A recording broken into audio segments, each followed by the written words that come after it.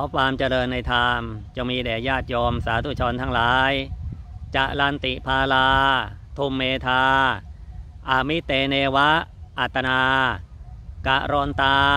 ปาปะกังกามัง ยังโหติ กาโกกับพลัง แปลว่าเราคนพาลมีปัญญาสามทำตัวเองให้เป็นศัตรูของตัวเอง เที่ยวก่อแต่บาปกรรมที่มีผลเผ็ดร้อน เจริญพร